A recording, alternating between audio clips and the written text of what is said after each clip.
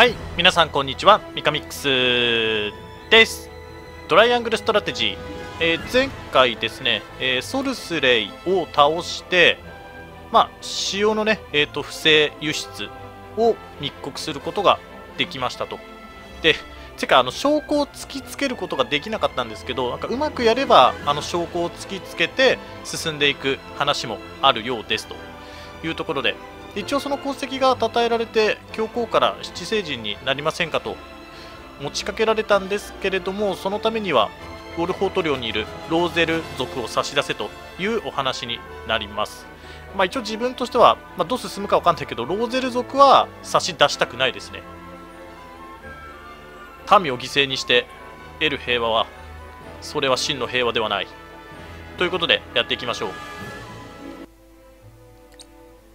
ウォルホート領内にあるローゼル族の村。その歴史はかつてハイサンドの塩湖を脱走した一部のローゼルを先代当主シモンが保護したことに始まる。それから30年全てのローゼルは塩湖で暮らすべきと考えるハイサンドの教皇は塩の裏取引事件を機に彼らの引き渡しをセレノアに要求する。ローゼルを差し出せば教皇の庇護が得られる。ウォルホート家を守るためには受け入れるしかなかった。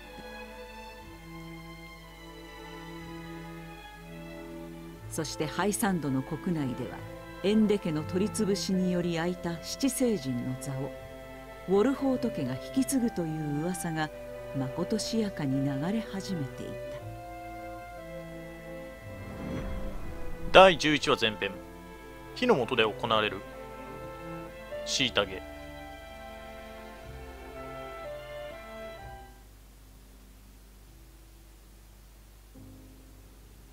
翌日。詰め所か。セレノア様。やはり我が領のローゼル族は引き渡すべきです。いや引き渡さん彼らはそもそもこのハイサンドから逃げてきたのだ。戻れと言っても納得はしないだろう。しかし七聖人への推挙がなればオルホート家は安泰です。場合によっては強制的にでもエグスアム殿の言葉を借りるならば覚悟が必要かと。分かっている。少し考える時間をくれ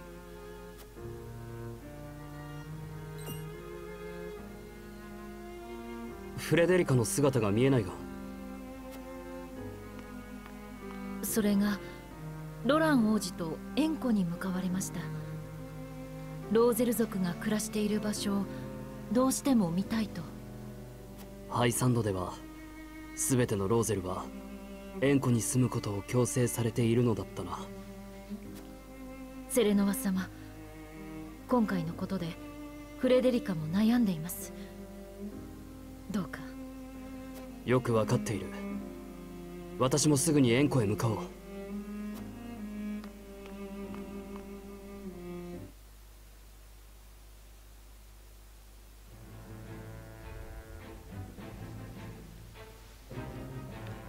ちょっと他。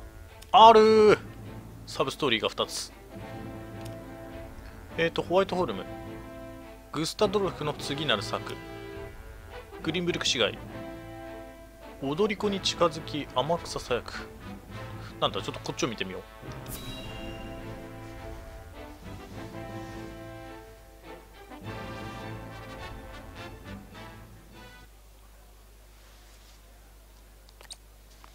あライラと話していた。踊り子か。シルビオ・テリオールさんね。誰だ？あなたに機会を与えるようにと言われてきました。機会？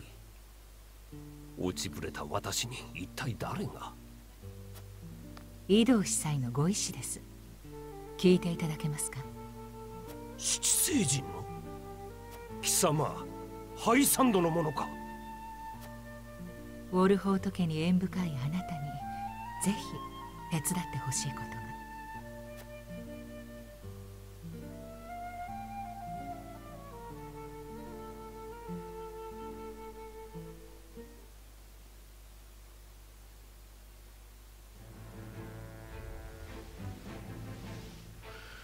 ってあの踊り子さこの前別に普通にハイサンドに行ってさ今このなんていうのホワイトホルムの城下町グリーンブルクにいたじゃん。こっからここってどのくらいの距離なの、まあ、パッと見そんなにって感じだけどこの領地がどれくらいのその広さなんだろうね。北海道くらいとかなのかな？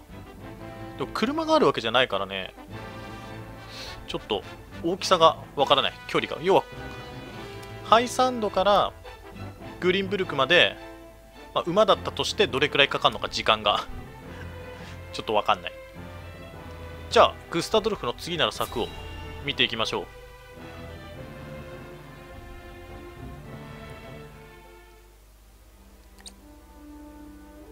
タラース根回しご苦労だった。何？最小として当然のことさ。グリーンブルクの重鎮どもには言い聞かせたよ僕たちの言う通りに動くようにね。準備は整った。いよいよだ。お兄様私にも何かお役に立てることはなくて？あれば私から指示を出す。タラース紹介の方はどうか。奴らも文句は言えないはずだよ相応の支払いは約束してやるではここからは我慢比べだハイサンドの諸君はいつまで息を止めていられるかな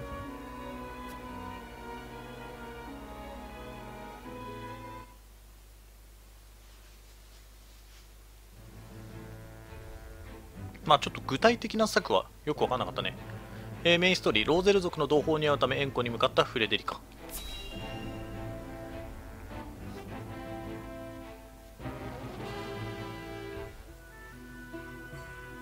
お願いします。女神教の聖域を一目見たいだけなのです。ですから部外者を軽々しく円弧に入れるわけにはいきません。ましてやあなたはローゼル族。我々の競技はご存知のはず。フレデリカ。セレノごめんなさい勝手な行動をしてしまって。いえ気持ちはわかります。私もハイサンドに住むローゼルのことを知りたい。知らない方が悩まなくて済むかもしれない。だが私は。セレナもしやあなたはオールフォート家の？そう。セレノはウォルフォート公だ近い将来エンデ家の後を引き継ぎこの方が死を司ることになる。今日はそのための下見というわけだ。噂は本当だったのですね。さて新たな七星人でも円弧には入れないのかな？ままさかどうぞお通りください。まだ確定してないのに入れんのかよ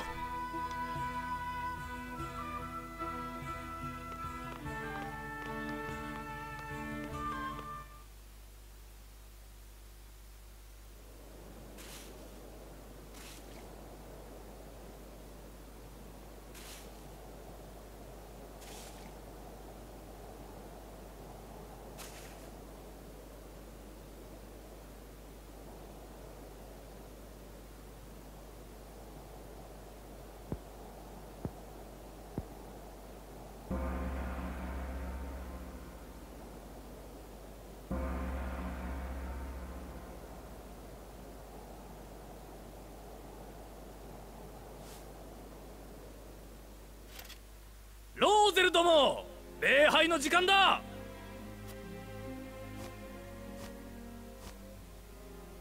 今日は七星人の移動司祭が説法をしてくださる。ありがたく成長し小野神に宿る罪を懺悔するがいい。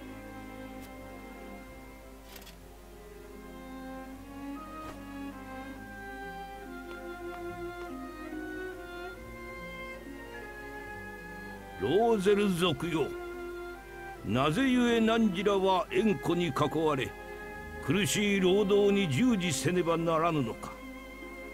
それは汝らの祖先が許されざる罪人であったからだ。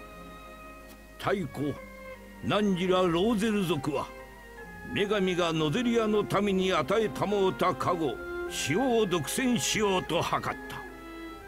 力ずくで円弧を占領し他の民が必死で手に入れたわずかな塩すら奪い取った。そして独占した塩を盾に人々を脅し全てを支配しようと企んだのである。その結果ノゼリアは長い戦乱の時代を迎えあまたの尊い命が失われることとなった。なんと恥知らずで傲慢な一族であろう。呪われた魂は今も汝らの体に宿っている。それゆえローゼル族の神は犠牲者が流した血と同じ色をしているのである。はい。我らローゼルは女神に逆らいノゼリアにあだました忌むべき一族です。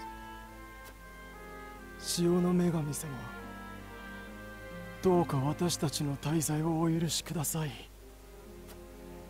だが絶望するなかれ潮の女神の慈悲は限りなく広く深い。汝ら豪深きローゼル族にさえ食材の機会を与えてくださいそれが縁故での奉仕なのである。この地に汝らの汗と命を捧げ尽くすことで呪われた魂は浄化され女神のもとへ召されるであろう。そして罪を許され再びノゼリアに清らかな体を得て生まれ変わることができるのだ。ローゼル族よ縁故に命を捧げよ。そして偉大なる潮の女神に感謝の祈りを。潮の女神様この罪深き命を縁故に捧げます。食材の機会を与えていただきありがとうございます。ありがとうございます。ありがとうございます。それでよい女神への感謝を込めて労働に励みなさい。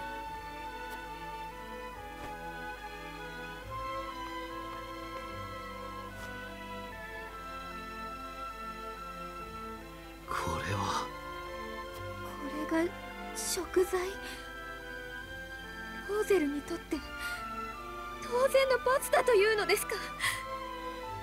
祖先の罪が事実だとしても。ひどすぎます。塩の独占は今ハイサンドがやっていることです。それは罪ではないのですか？確かに。しかしこれが潮の女神教の教義なのでしょ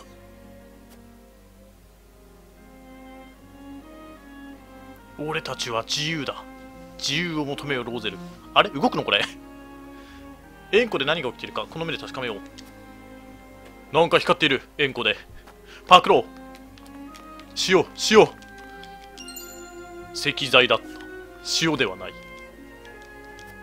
これどうやって塩取ってんだろうね。移動のバングルって何？移動力上がんの？もしかして。すげえいいの起こってんだけど。女神様の教えに従っていれば我々の罪は浄化される。あフレデリカ様。食材のためという名目で子供から老人まで劣悪な環境で重労働を強いられている。力尽きて倒れても手当てすらされない。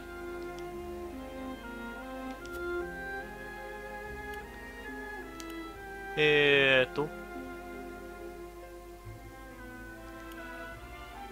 うんまあ逃げ出し逃がしたい気持ちはあるけどな、まあ、今ちょっと情報を集めよう。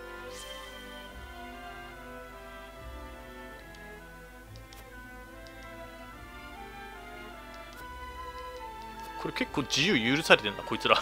移動の自由を許されている。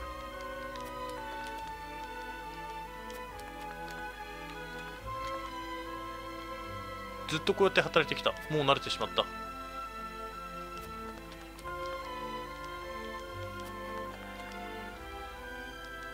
死を運ばなければ。ローゼル族の情報。今日は水をもらえるかな？かわいそすぎる。1700円金が起こってる。なぜ？ちょこちょ動かしづらい。ソルスレイ様の購入はまだ決まっていない。管理者は不在のまま何かあった時誰の指示を仰げばいいんだ？七星人の一人慎重に決めよう。ウォールフォートがなるという噂もある。さっさと決めてほしいもんだ。ああでも確かにここの管理者になってなんかどれほどまで上質の石材権限があるかだよね。この劣悪な環境をさもうちょっと正してあの要は塩を取れる効率を上げればいいわけでしょ。ただ働かせればいいってもんではないからね。今時代はちょっとこれ裏っ側見よう。DX 化だからデジタルトランスフォーメーション。1000円。ここね得た金で農クバのゴフ DX 化を進めよう管理者になって。でもそうするとローゼルを連れてこなきゃいけない。そして DX 化の権限が与えられるかどうかだよね。セレノアに。ローゼルなどというローローゼルなどという汚らわしい一族。円弧で罪を償い続けて死にを定められている。我々のような清廉な信徒とは生まれながらにして違う。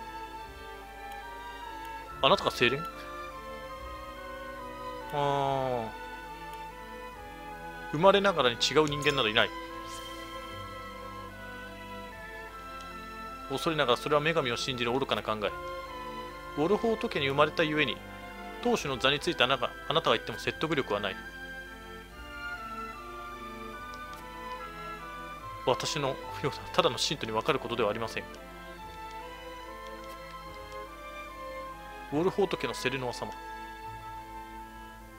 薄汚い罪人どもの姿をお見せして申し訳ありません。何せここはローゼル族が罪を注ぐ場。ここ光ってたな。ローゼル族の名簿。あ手記ね。こんな感じか。井戸はもうどっか行っちゃったか。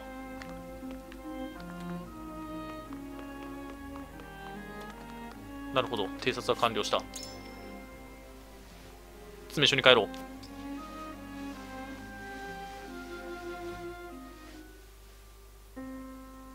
想像以上に劣悪な場所だ。あの円弧にウォルフォート領のローゼルたちを連れてくる。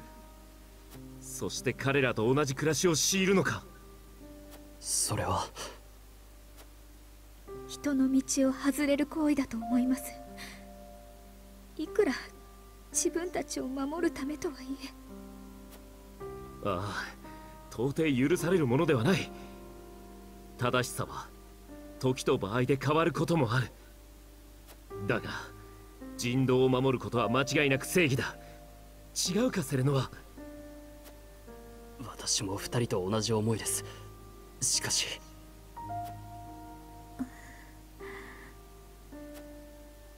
すまんお前だけを責めるつもりはない。ただ俺たちは俺たちは落ちてゆくばかりだ。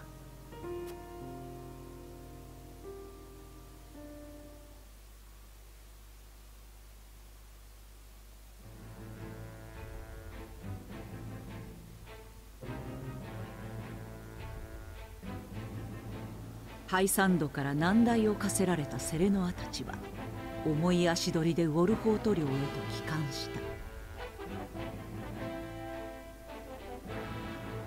一方コーデリア女王のもと再出発を果たしたグリンブルク王国も新たな動きを起こす。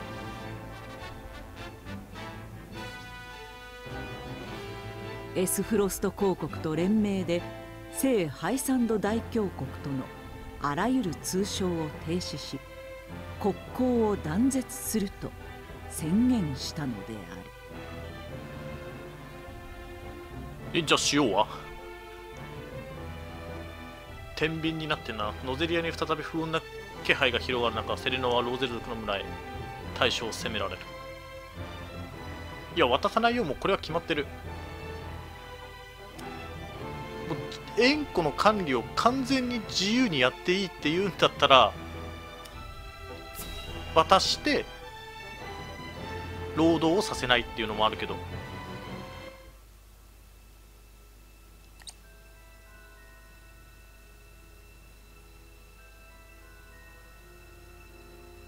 エスフロストとグリンブルクが連名でハイサンドとの断交を宣言しただと。はい。たった今情報が入りました噂ではなく公式な発表です。どういうことだ？もちろんグスタドルフがコーデリアに強制したのだろうが。そんなことをすればハイサンドは紹介に卸している塩の出荷を停止するはずだ。エスフロストもグリンブルクも行き詰まるだけなのに。兄グスタドルフは勝てない戦はしない人ですきっと何か策があるのでしょう。ノゼリア全体に何かが起こる。そんな予感がする。それぞれの国が動き出して我々も足場を固めなければなりません。ローゼル族の村と民を切り捨ててか。ウォルホートの土地と民を守るためです。誰もあなたを責めません。セレノア様ご決断を。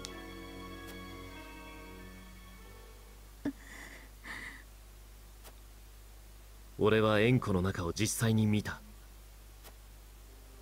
ローゼルたちは過酷な強制労働に苦しめられていた。あれは人のやることではない。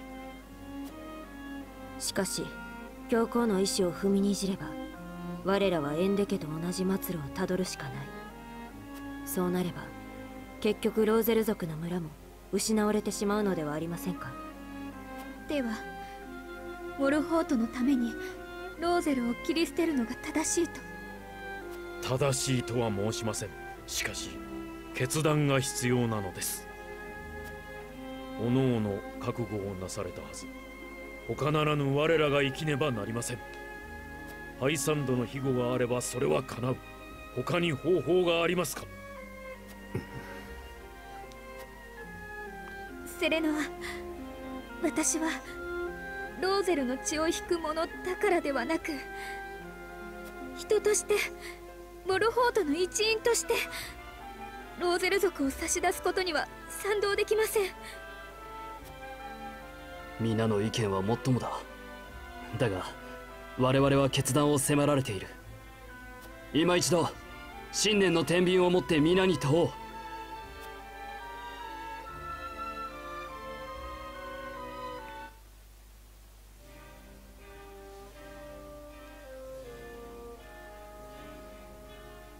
グリーンブルク王国を取り戻すにはハイサンドの教皇の指示がどうしても必要。そのために彼らをあの円弧へ送るのは。ヒューエットがあれか。な。そうだな。別に説得はしない。えーとだからベネディクトとジーラもあっち側か。アンナも。決めねばなりませんウォルフォート家が生き残っていくにはハイサンドの後ろ盾が必要不可欠。団長の思い決断の時。話せば分かってくれそうだ。本当に？考えをお聞かせください。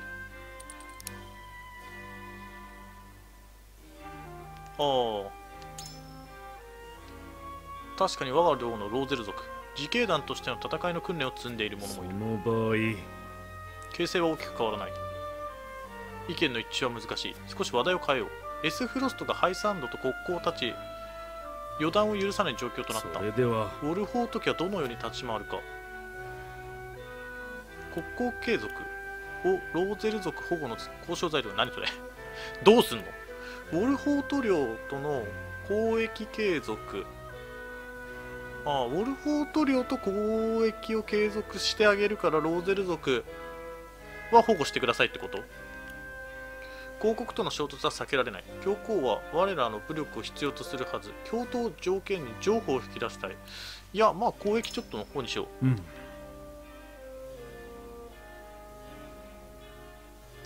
まあ確かにエスフロストとは関係ないからね。今のところウォルフォートは。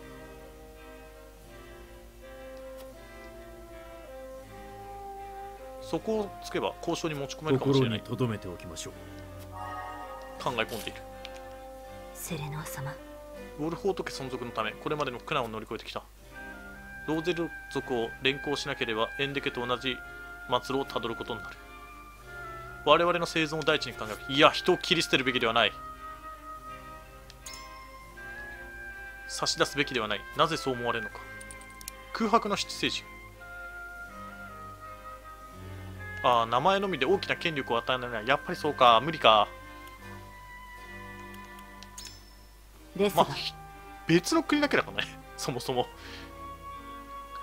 国籍どうなってんのって話だから。それでしたら。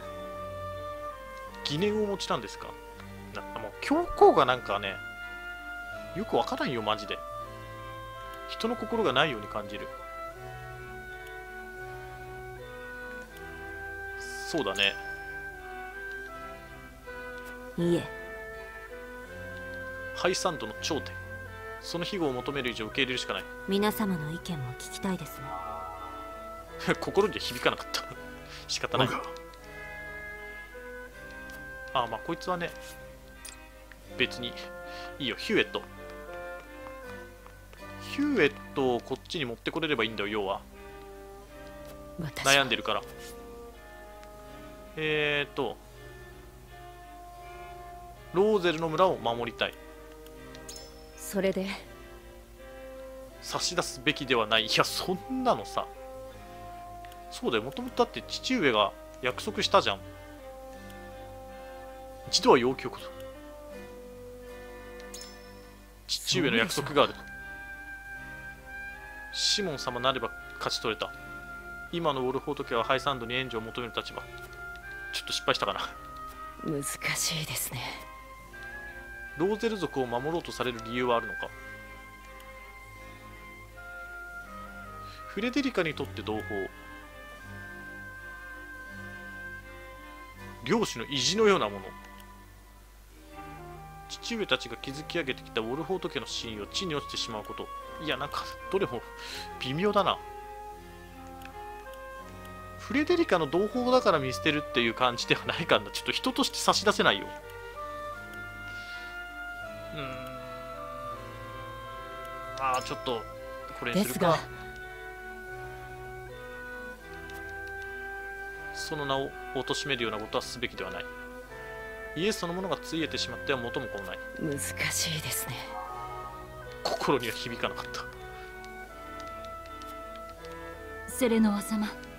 ハイサンドから逃げ延びたローゼル族とその子孫の人々。自国の民を返せと教皇直々に言われては反論できません。我らは反とになっちゃうよ。七星人の地位が得られるという破格の待遇。いやローゼルを守りたいです。これ絶対カチャってなったのがいいのかどうかって言われたらまた微妙だよね。フレデリカにも機会が及ぶかもしれない。ちょっと。うんまあそれ嫁さん心配するのはわかるけどさ。いやいやそうだよ。これ見て。エンコの実態をご覧になっていけばなおさらみんなエンコの実態見るべきだったよ。犠牲だけでなく人として大切なものまで失ってしまう考えさせてください。じゃあちょっといきますか。投票。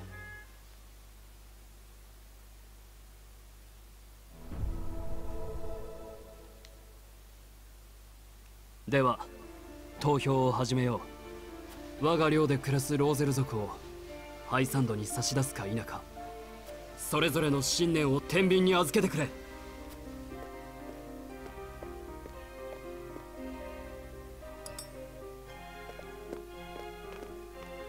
若様のご意見に。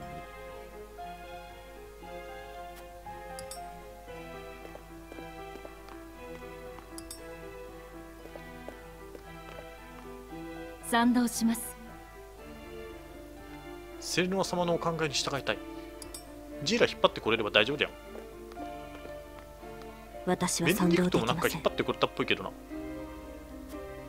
アンナは無理っぽかったな。ヒューエットがどっちになるんだ？信じましょう。どっちやねん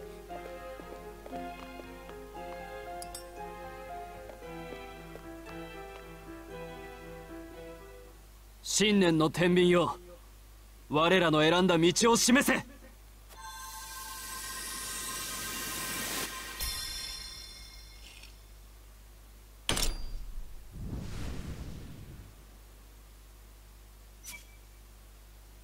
おおローゼル族を守る。ベネディクトこっちに来たか。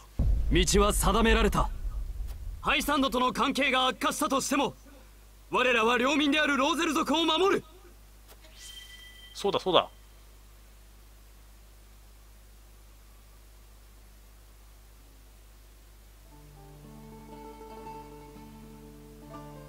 こうなるのではないかとうすうす感じていた。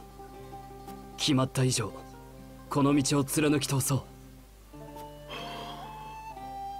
我らは教皇の意志に背く。ハイサンドにローゼル族は渡さない。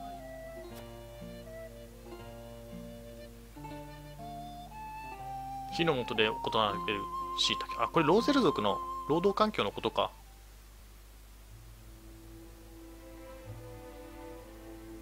セレノアラは領内に住むローゼル族を守り抜くことを決断した。それはハイサンドへの反抗を意味する。ウォルホート家そのものの消滅すら招きかねない危険な選択であった。第11話後編死に至るまで誠実であれ。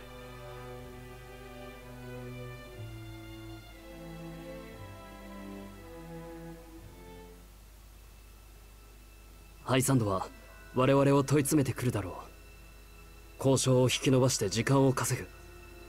その間に対抗策を見つけ出そう。まずローゼル族に事情を伝えなくては。使いを出してウォルホート城に保護しよ大変です。ローゼル族の村が軍勢に攻められているとの報告が。なんだと！一体どこの軍が攻撃を？詳細まではまだ。相手が誰だろうと助けなければ。出陣の準備を急げ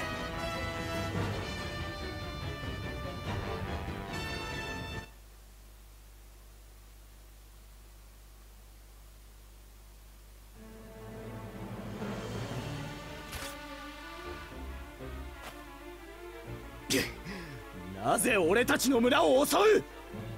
仕事だ。お前らをハイサンドに連れてこいって依頼でな。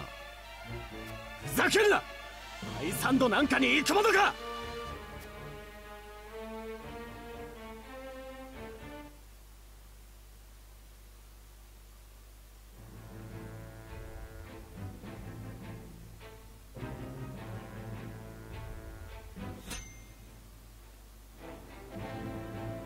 推奨レベル18高いな。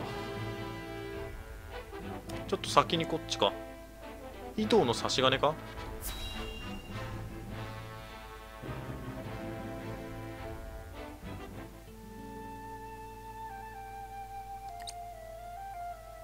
あの者は依頼を受けたか？ええ。見返りを匂わせたら喜んでウォルホート領に向かったわこれで備えはできた。ウォルホート家がどう動くか書けない。どちらでもよいのだ。従うなら使う。逆らえば消す。我がハイサンドに損はない。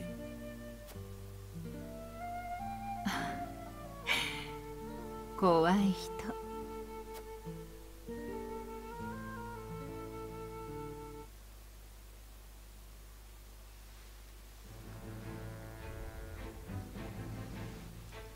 じゃあちょっと戦闘前にまた詰め所行って。じゃあちょっとジーラですね。えー、二等勲章でキュアリスト。大回復の魔法があるな。まだちょっとレベル的には覚えてないけど。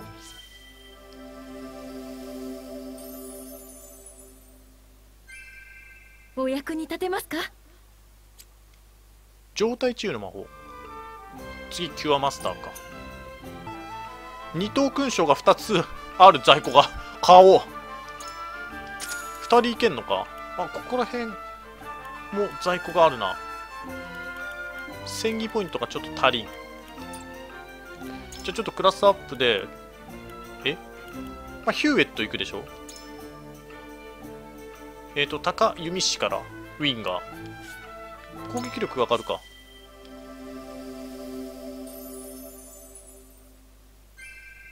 お待たせください。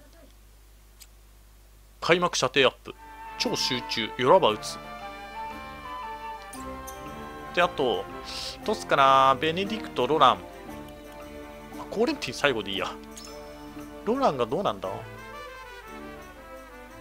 馬突撃流線みたいな。ベネディクトなんかいいの。開幕 TP プラス。連続でいくぞ。えなんか良さそうなの覚えんな。ちょっとこっちにしようストラテジスト。常に学びを。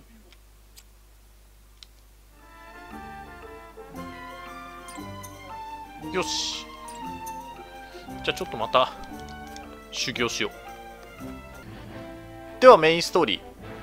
ローゼル村が襲われている。ステレノはかつての同胞と戦うことになるということで推奨レベルは18なので鍛えてきました行きましょう。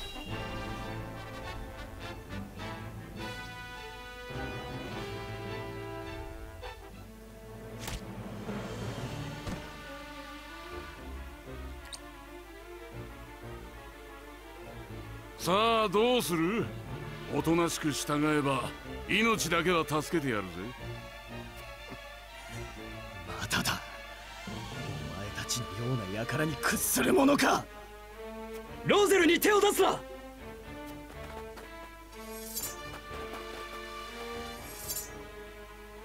セレノア様おやおやローゼルをかばうとはどういうつもりですかな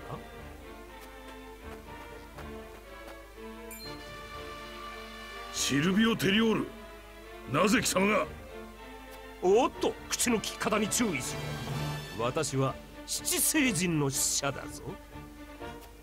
ハイサンドはあらかじめ手を打っていたのか。まあそういうことです。分かったらどいていただこう。ローゼルどもは私がハイサンドに連行する。断る。ウォルホート家は彼らを守る。つまりハイサンドを裏切るということだ。なルフウォルフォートごとやれ。皆殺しで構わん。おう言われなくとも手加減なんてするかよ。村の皆は下がれ。俺も一緒に戦います。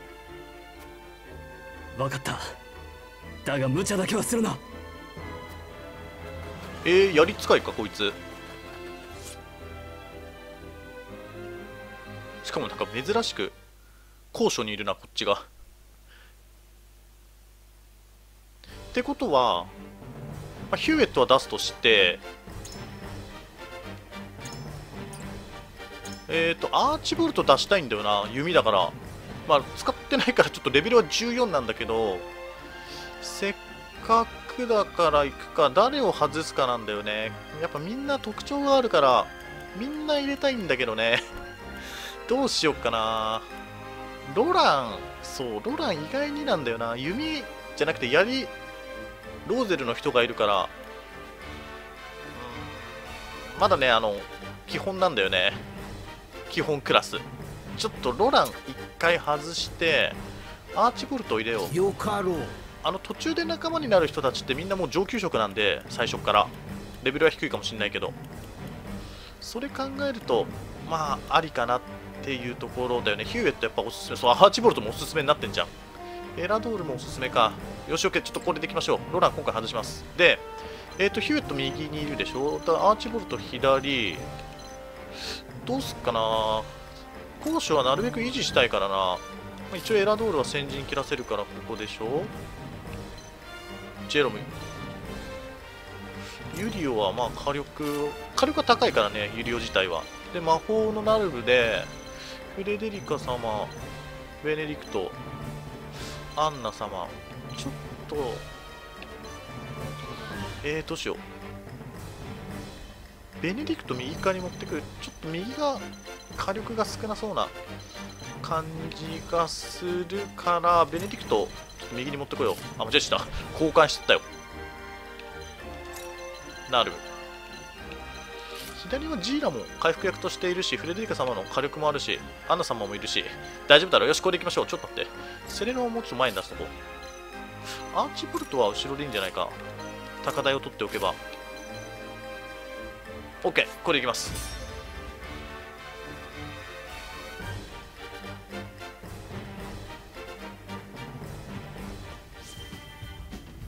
ローゼルムは防衛戦。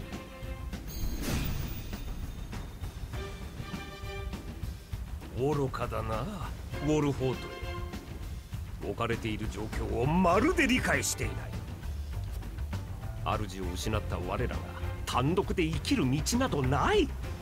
あのハイサンド相手に貴様らだけで何ができる。領民の犠牲で得られる未来など我らは望まない。人として守るべき大切なものを捨て歴史に汚名を残すくらいならこの誇り高きローゼルの民と共に視力を尽くして戦うのみ。誇りや正義感だけで道が開けると思わんことだ。皆の者かかれ。腕が鳴るぜ。なんかいろいろ発動したな。絆ありてってなんだ。ちょっとあんまり先へ進みたくないからな狙われんだもんこれ。ここは狙われてないのか。えー、ちょっと一旦このままでいこう。仕おびき寄せる。あはしごがあんのか。でも別にこっちから行けるしな。アンナ様ちょっと前には出しておこう。探検兵。オーバーウォール。そうか。探検系はアンナ様と同じ。こいつらもオーバーウォール使ってくるじゃんじゃあ。そういう使い方ができるのねジェロ。勝手に動きた マジか。まあまあまあそこそこ。キューエットどう？すっげえ。射程が半端ないんだけど。狙っとこそれ。ういいね。アビリティしとく。超集中。一歩だけ前にするとこみなぎる。何が？筋力がみなぎっているどこから攻めるか。ここはあいつの射程に入るってことでしょ。まあまあまあしょうがない。この2人前線に出そう。必ず勝つ。シュルビオ強え。ヒットビット564とか。ルフは。こいつ後ろからチクチク行きたいな。どう攻めるか。でベネディクト。さあどうする？味方次のターン2回行動はめちゃくちゃでかいよな。うーん。今だも結構いいんだよね。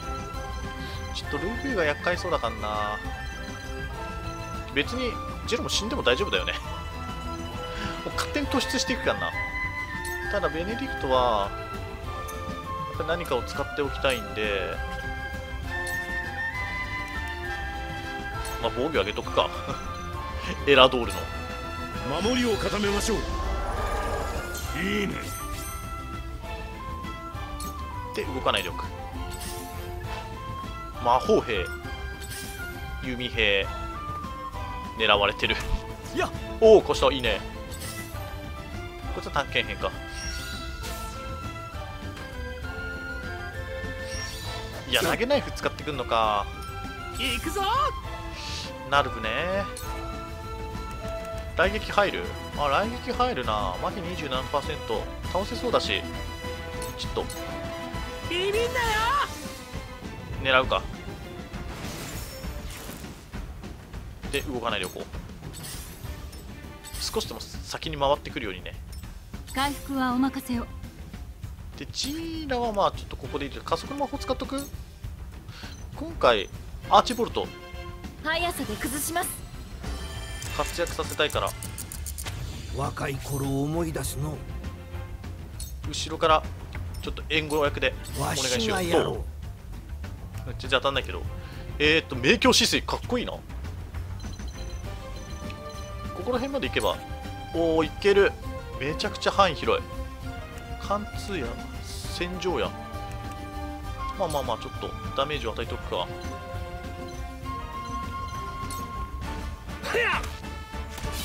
オッケーレベルアップアビリティ千里眼。なんかよくわかんない。全力を尽くします。ユリオ。ユリオ下に下ろす？ちょっとこっちを狙うか。ああいつまひってんじゃん。ほっとくか。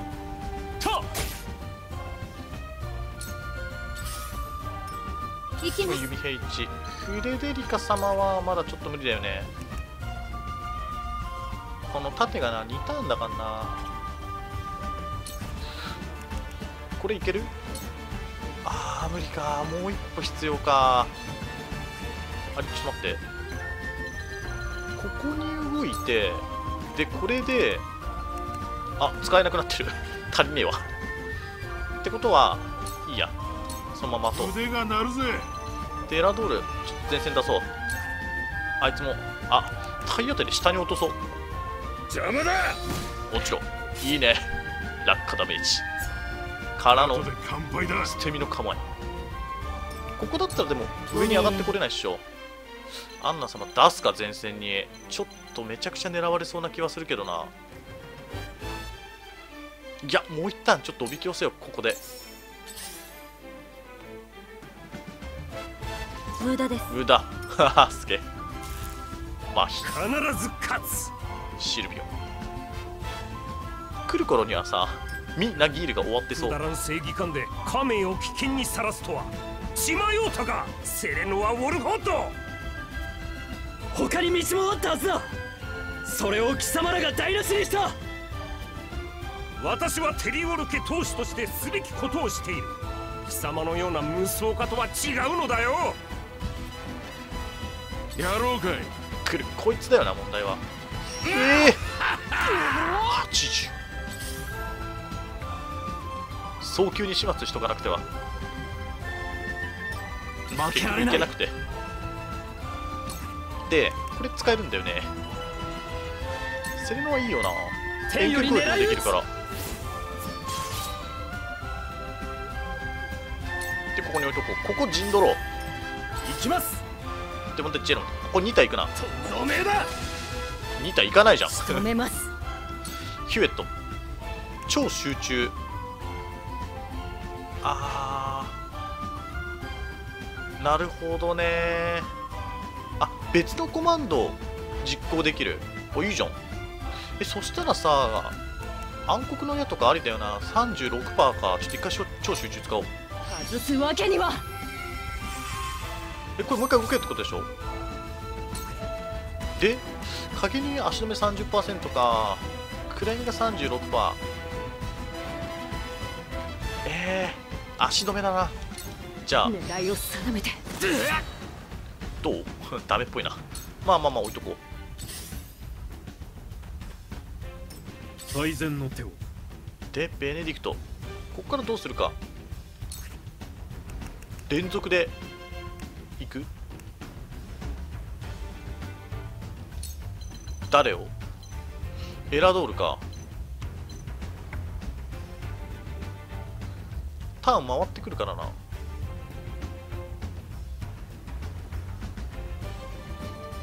よしエラドールで行ここの手で行きましょう。うこいつはもう前に出してて問題ないからな。魔法兵。いやーノックバックリンドとかうーぜ私のできることを回復があんなかセレノアかって言ったらちょっとこっちだな皆さんのために。すまない。おアビリティ大回復覚えた。行きます。しょうがない。じゃあ。演劇。はいやけどだこいつマジ厄介。あれこれ2人いける？いいじゃん。あなたに信念はないのですか？身勝手で卑怯な真似をして。エスフロストに厄介払いされたお姫様が何を偉そうに。信念などでな家名は守れんのだよ。お前たちも一度はハイサンドに下ったのだろう。あなたたちとは違う。家名よりも歴史に名を残すことよりも人として守るべき大切なものを失いたくはない炎よ。いけ。強い。我らには後がないのだ。これ式の傷なんともないわ。シルビオ覚悟決めたな。おおシルビオの野郎珍しくやる気だな。行くぞ。なるべく攻撃に入るか。回復しとく。来撃で麻痺ゼロか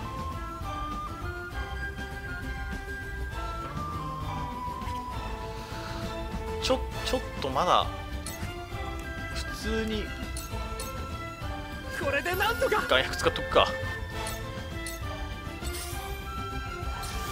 電撃。これさ麻痺ったらやばうわすっげえ食らうんだけど。魔法防御低すぎたら回復とか鬱陶しいな。だいぶ回復された。だから上には上がってこれないなこいつら。パワーショット。いって出番かねこれはどうなの？ちょっと待ってマジで魔法兵厄介だからな。千里眼が働いてんな。これできないや。こいつがあれか当たっちゃうのか。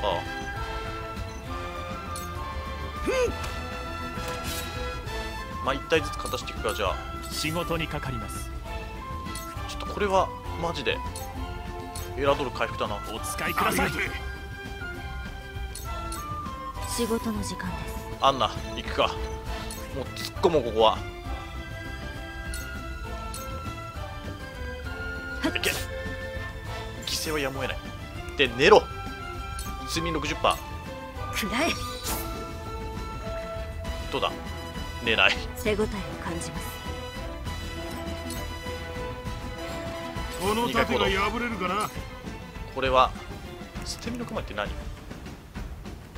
筋力上昇か。いやこれも2回攻撃するべきだな。ほら。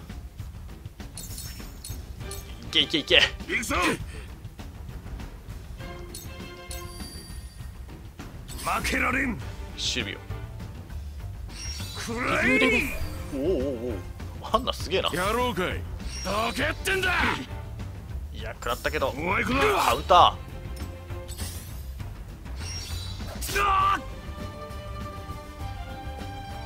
逃げてった。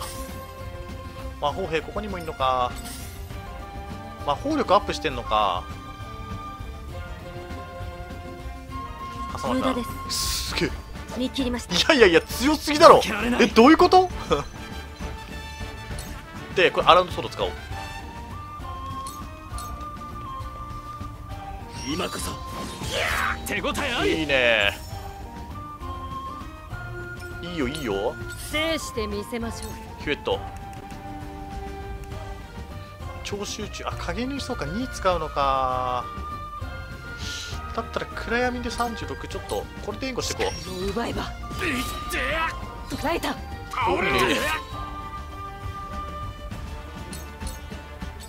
お暗闇になったっぽいな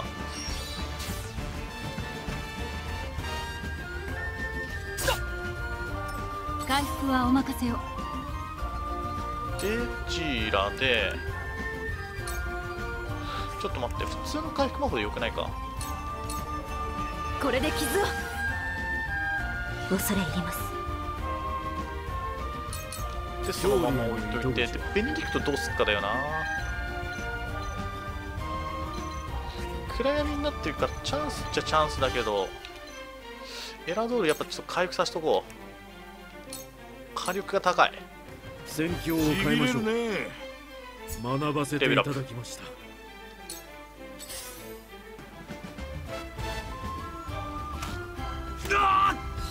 これでどうかな？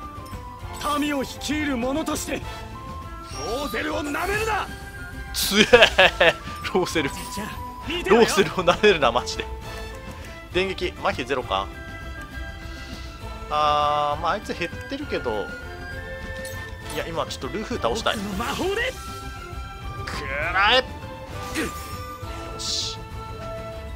え麻痺沈黙睡眠無効とかあるんだ。仕事の時暗間闇無効にはなってないからね。シルビ後ろから行くか。これ毒出るあ毒90あちょこいつじゃねえし。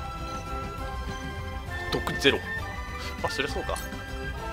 数を減らすっていうのも必要だけどなそうだよな今んとこシルビオそこまで脅威にはなってないからやっぱ1体ずつ減らしていこう。ちょっと待ってこいつ魔法兵だっけ？回復兵だっけ？回復兵か。まあ回復兵だったらいいや。行きましょう押し切れそうです。いや押し切るよ。仕留めます。オッケーオッケ学んだ力。今こそーでフレデリカ様はまだまだ演劇がいける。で探検兵倒せるでしょ？焼き尽くします。強い。マジでいいわ。は？マジかよ。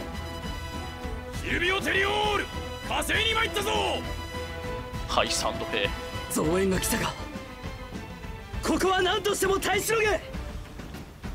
何人来ようと同じだこの命尽きるまで戦い抜いてみせる。でまあまあまあこいつを回復されるのはしょうがない。こいつは魔法兵か。ノックバックウンド。わしがやろう。アーチボルト。こっちはさすがに届かないからもう弓対弓だな。遅いよしよしよし。嬉しいものじゃな。してレベルアップが早い。全力を尽くします。ちょっとナルブがあれだからな。えーと決めてこいで2か。魔力アップさせるのはいいよな。よしこれにしよこれからですよ。僕頑張るよでどうする？ちょっと待って。あ切り札はもう使えないのか今の段階だと。どっかで切り札発動させよう。なんださ甘いねるかよ。腕が鳴るぜ。エラドールはまあこのまま攻撃だな。行くぞ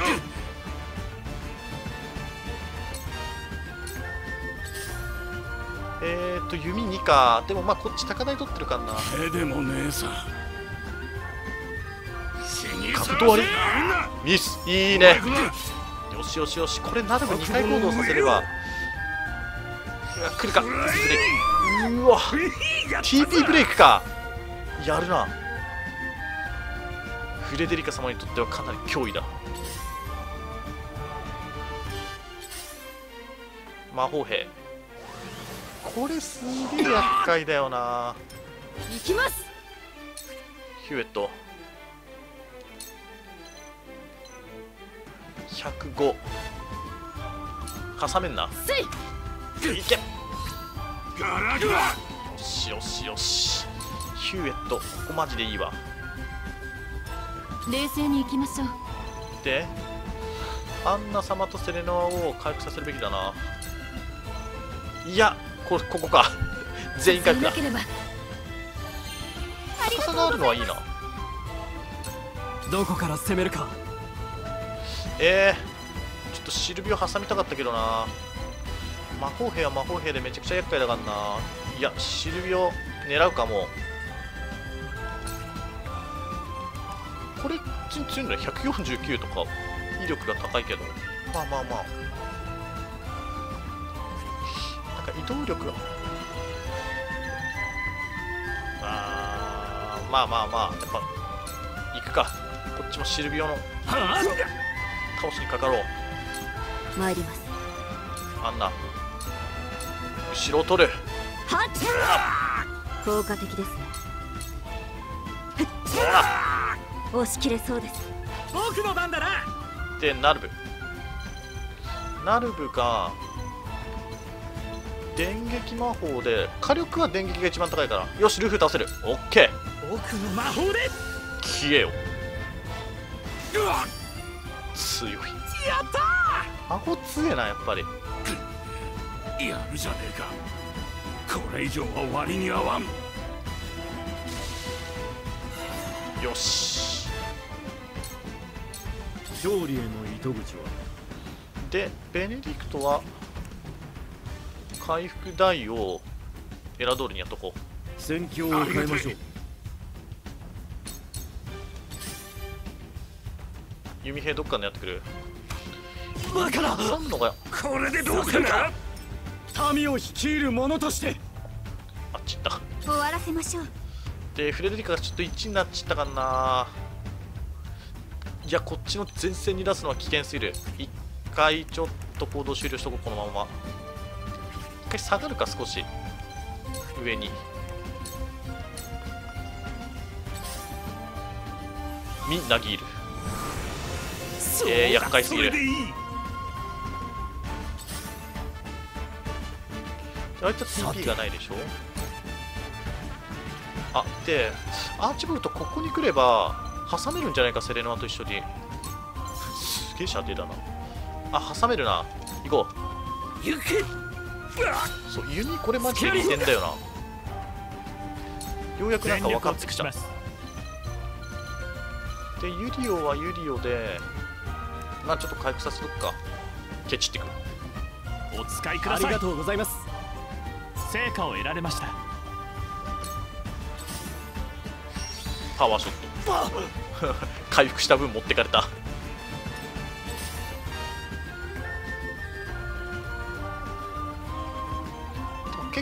結構戦況は落ち着いてきてる。痛い。攻撃。レベルアップ投資として。154かかってこい。まあエランドーラ前線に出していいだろうもうヒットポイント的には大丈夫。なんかないの？そういえば。物理強化のスパイスも使っとこう。今だ。一旦目にこれ使っとくのありだなえー、やばい。セレノがまずい。あーこれ弓食らうか。最悪死ぬな。やられた。マジか。もうこっから狙ってくよガンガン。いや。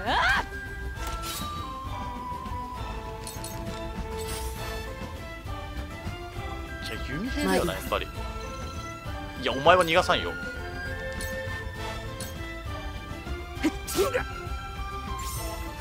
ちょっと右を合流させないと左に。結構きついな。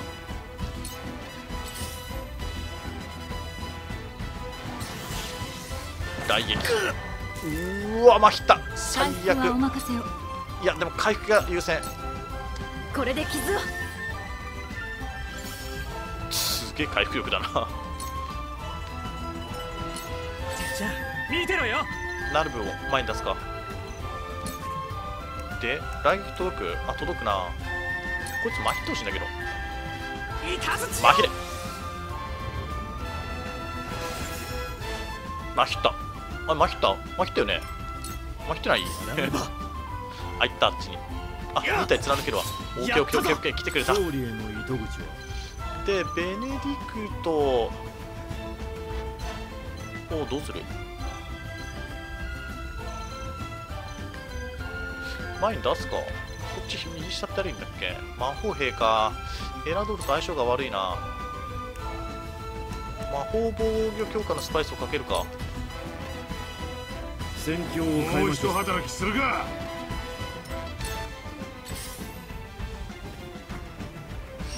有料狙いか。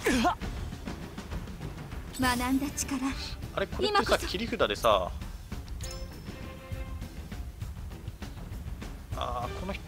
状態上 TP3 移動2えーとちょっと使うか麻痺2ターンは結構きついしな。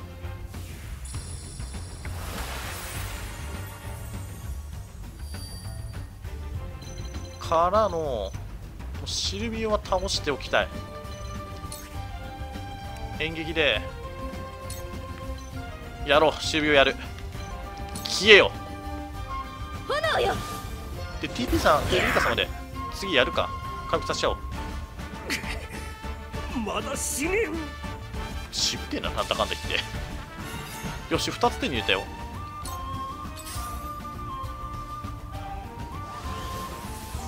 バックバックウィット。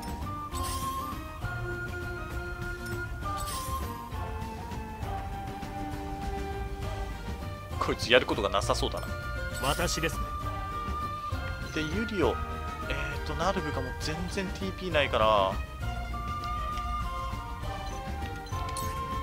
決めてこいって。いけんな。ここが踏ん張りどころだ。僕頑張るよ。新渡しか？まあまあまあ。痛いあいつだ。焦る時ではないぞ。よしアーチボルト倒すやつを倒しとこう。そこじゃな。戦利かお手伝いします。いいね。まだまだこれから。オッケーオッケーオッケー。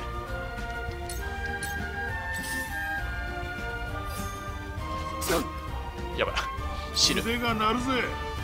エラドールちょっともう魔法兵ぶっ倒しに行こう。超絶厄介だわこいつら。くらい仕留めますでなるべくそれ！倒せそうなやつがいい。仕事の時間です。行くか。アンナも合流しよう。こっちに。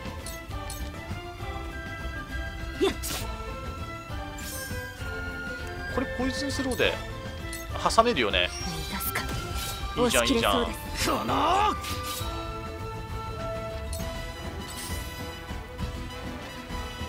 狙われる。死ぬかもしれん。あ死ぬぞ。これ耐えられるか？やられたか？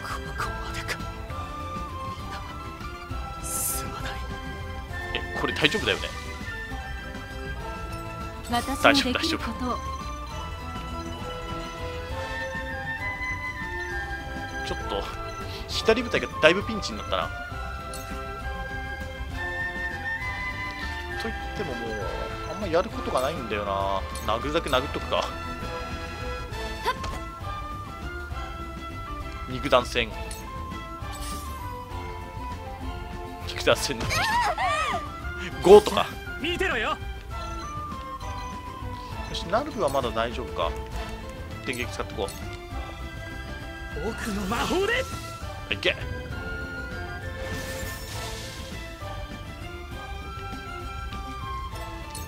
最善の手は？ベネディクトちょっと回収してえー、っと今田はありだよな。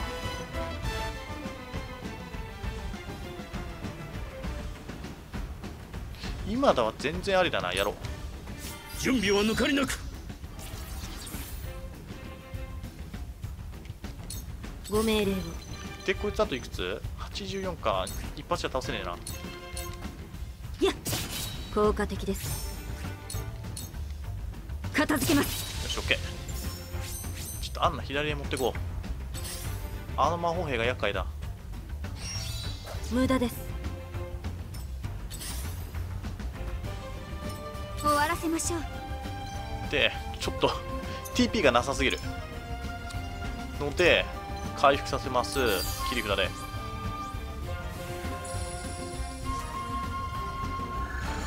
これもう誰も死なないでクリアっていうのは無理だな。えーっとちょっと待って。これでいくつ当たる？まあまあまあまあだな。焼き尽くします。ほら。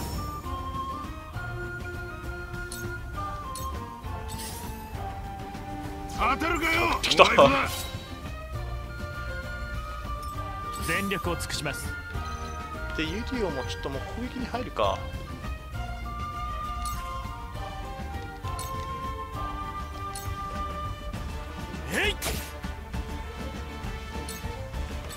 こいつなの？ヒューエットに任せよう。さて。もうちょっと。でアーチボルトもよしこれで倒せんな。悪く思うな。いいねいいね。強い。弓兵強いわ。やっぱり。アーチボルトこれ。仕留めます。全然ありだな。ちょっとこっち入る。こ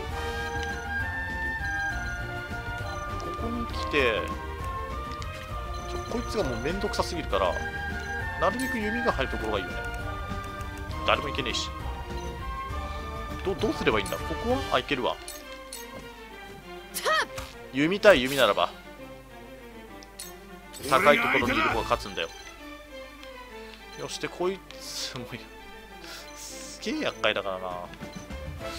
こいつも動かれんな。あー無理か。挟みてえな。ちょっと一体ずつ追ってこう。どうだ？はい。戦場は俺の庭だお上狙ってきたか。パワーショット。いって。私のできること。を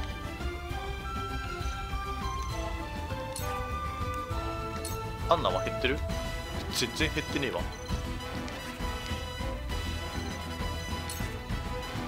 えーと回復範囲。うん待って言ってもだよね。大回復って何？3使うのか？完全にピンチになった時にやるかで探検兵後ろ取れんなはっはい押し切れそうですはっはい押し切れそうですどうするいやこいつはもうこのままガンガン押すいかずちよ戦利品2個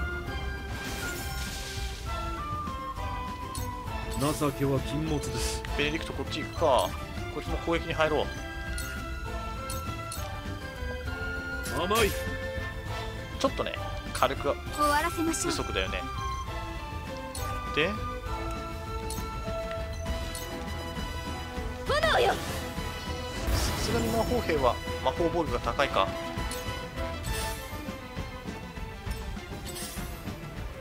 来るか。弓対弓全力を尽くします。でユギ後ろ。決めてこい。が2か。ナルブの魔法でいくか。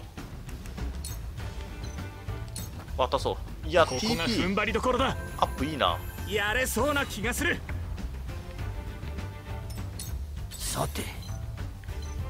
だいぶ落ち着いてんね。よしよしよしよし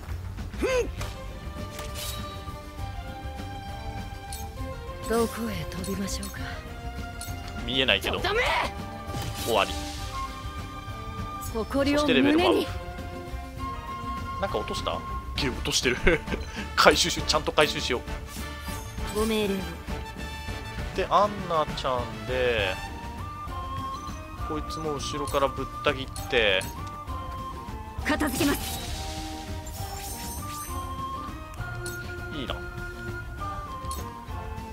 回復はお任せを。回復だけしとくか。大回復どんだけ回復するの？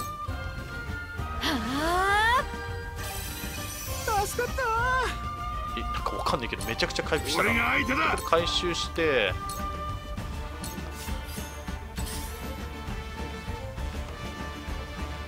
どんどん上を取られてんな。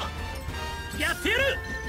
だってナルいけるっしょ魔法。電撃はい終わり僕の魔法で。強えほんと強えわ。魔法と弓本当に強い。このゲーム。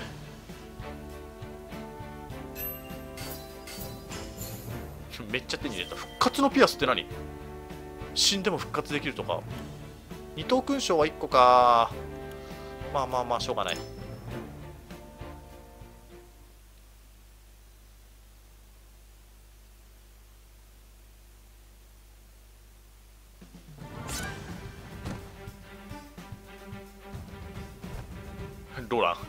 出てないのに。あ待て。ローゼル謎を守るために同胞の私を殺すのか。ローゼルは呪われた罪人だ。守ったところで何の得もない。そうだろう。我が民を侮辱するな。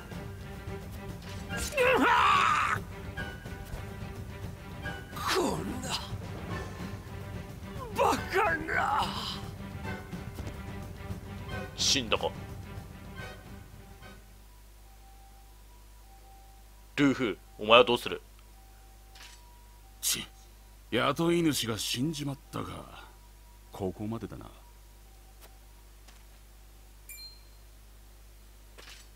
逃がすか！我らの離反を知られるわけにはいかん！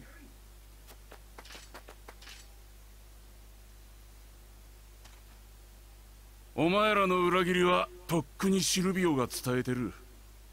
明日にでもこの村にハイサンドの討伐軍が攻め寄せるだろうぜ。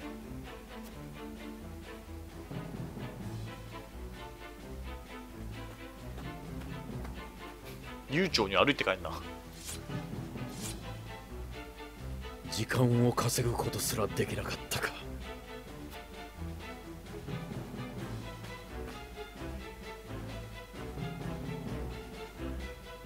セレノア様お助けいただき感謝します。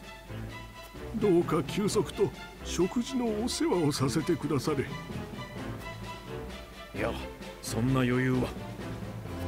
我々だけでなく多くの村人が傷を負った。戦うにしろ逃げるにしろ休息は必要だ。今は彼らの行為を受け取ろう。若の言う通りだ。腹を据えようぜベネディクト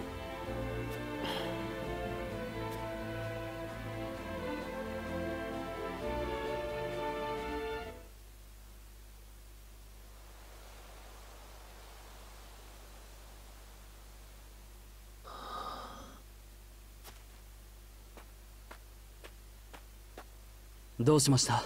こんなところで。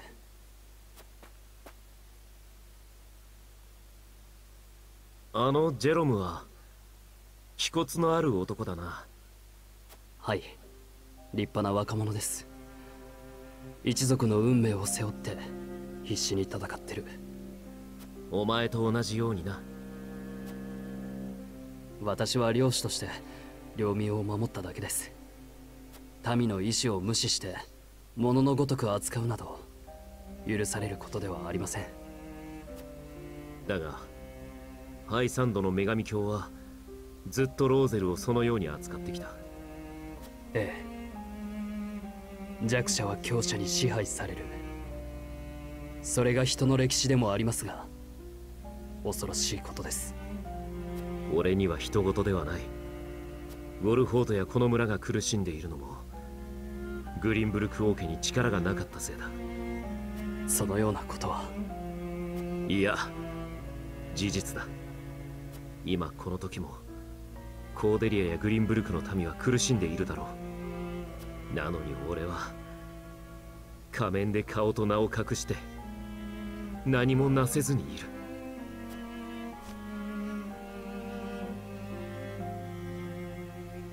死に至るまで誠実であれ。終わり。